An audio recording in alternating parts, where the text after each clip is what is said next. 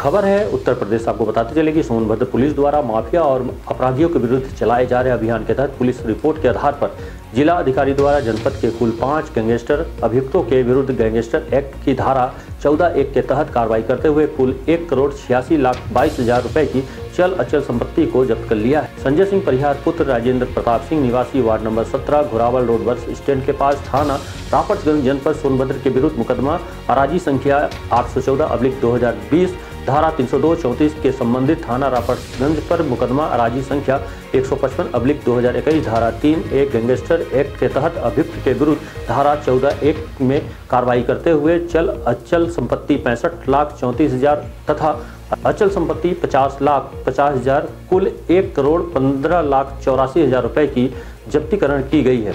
Sonbhadra police द्वारा mafia एवं अपराधियों के विरुद्ध चलाए जा रहे अभियान के तहत पुलिस रिपोर्ट के आधार पर जिलाधिकारी सोनभद्र द्वारा दिनांक 18 ग्यारह इक्कीस को जनपद के पाँच गैंगस्टर अपराधियों के विरुद्ध गैंगस्टर एक्ट की धारा चौदह एक के तहत कार्रवाई करते हुए एक करोड़ छियासी लाख बाईस हज़ार रुपये की चल अचल संपत्ति जब्त करने का आदेश हुआ है। गोल गोल पोस्ट के लिए सोनभद्र से दिनेश पांडे की रिपोर्ट।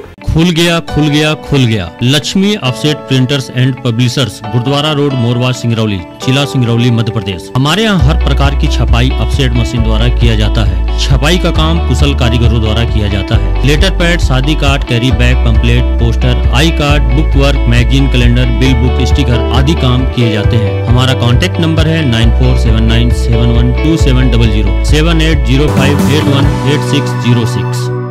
और हाँ हमारे चैनल को सब्सक्राइब करें, घंटी का बटन दबाना न भूलें, जिससे नई अपडेट आपको समय समय पर मिल सके।